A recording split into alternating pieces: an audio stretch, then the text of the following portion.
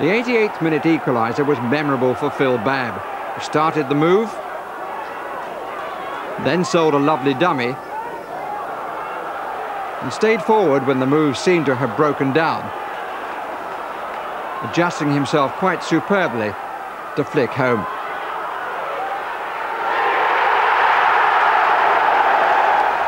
Well, Southampton stayed next to bottom after that draw at Highfield.